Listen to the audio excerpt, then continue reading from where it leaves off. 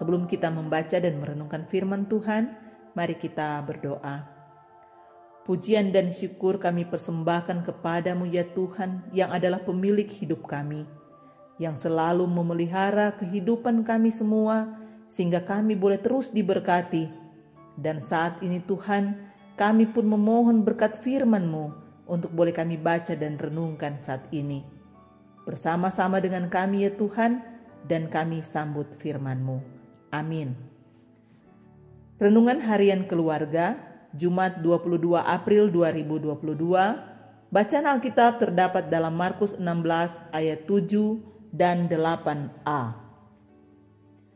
Tetapi sekarang pergilah, katakanlah kepada murid-muridnya dan kepada Petrus, ia mendahului kamu ke Galilea. Di sana kamu akan melihat dia seperti yang sudah dikatakannya kepada kamu. Lalu mereka keluar dan lari meninggalkan kubur itu, sebab gentar dan dahsyat menimpa mereka. Judul RHK kita pada hari ini perempuan yang diubahkan. Saudara-saudara yang diberkati Tuhan, paternalistik atau patriarkal adalah sistem masyarakat Yahudi di mana Yesus hidup. Sistem ini kental dengan dominasi kaum laki-laki. Jika orang Yahudi ditanya berapa anaknya, maka yang dihitung hanya laki-laki. Dalam doa harian yang diajarkan, mereka bersyukur dilahirkan bukan sebagai perempuan. Sikap terhadap kaum perempuan sangat diskriminatif. Semua jabatan publik, termasuk jabatan agama, ada di tangan laki-laki.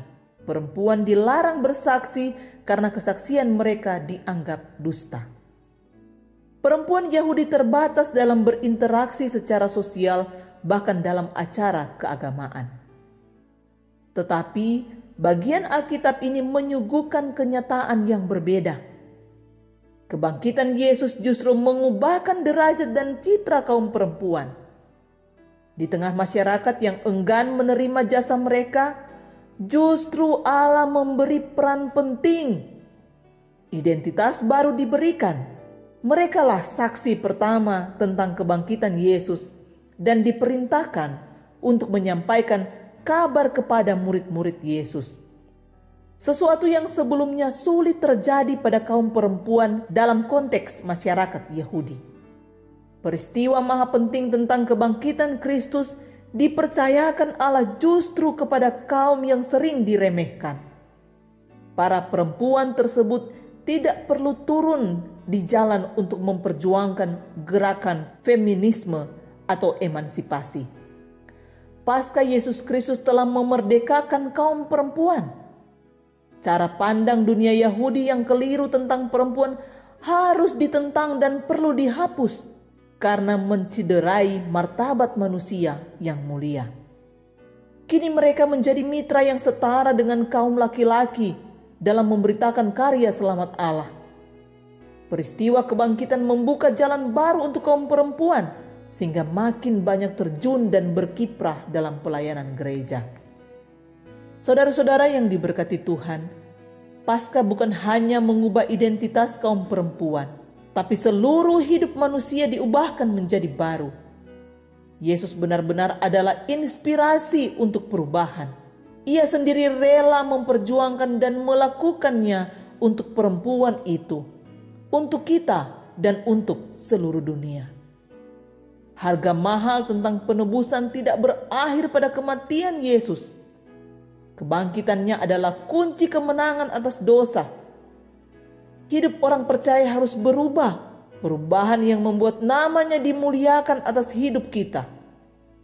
Perubahan itu juga harus diwujudkan dalam hidup setiap keluarga Kristen, menjauhi dosa dan kejahatan, memelihara firman dan kehendaknya maka diberkatilah keluarga yang mau diubahkan dalam citra Kristus yang sudah bangkit untuk kita. Amin. Mari berdoa.